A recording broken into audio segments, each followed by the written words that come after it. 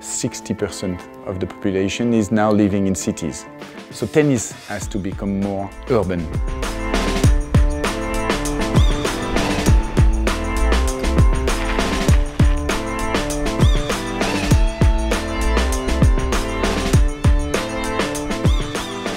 The goal with the new Pure Strike is about bringing more feel to the racket and more responsiveness to the racket.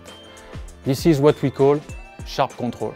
It is a new definition of control that we really believe in and that Dominic Thiem for us, totally embodies. When he plays his game, we can totally understand he hits hard, far from the baseline, long shot, you know, but still he needs very, very much his control.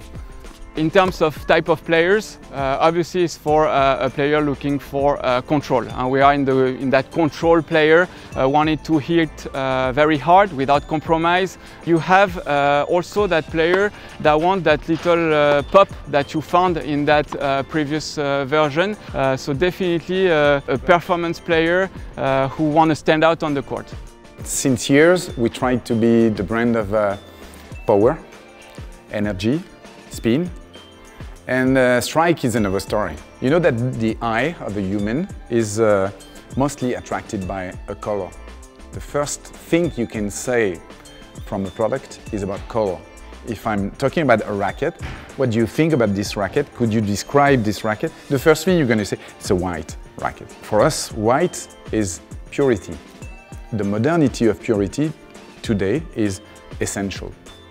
Don't talk too much uh, deliver the right function, the right technology in a short time. And this is exactly the spirit of Strike. Short time, short reaction. Yes, it's pure, clean, modern, urban. Uh, this is my type of player and we believe this is the new type of player. This is the beginning of a new generation of player. If you are a player that last used the uh, Pure Strike, it's gonna be a very, very easy switch for you because we made sure we would bring the same spirit into the new strike with added feel and added responsiveness.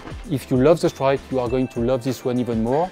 We wanted to make sure that we kept that playability, so if you go from the former one to the new one, uh, no problem, uh, and you're even going to have uh, that special feel on top of it that makes a huge difference on court.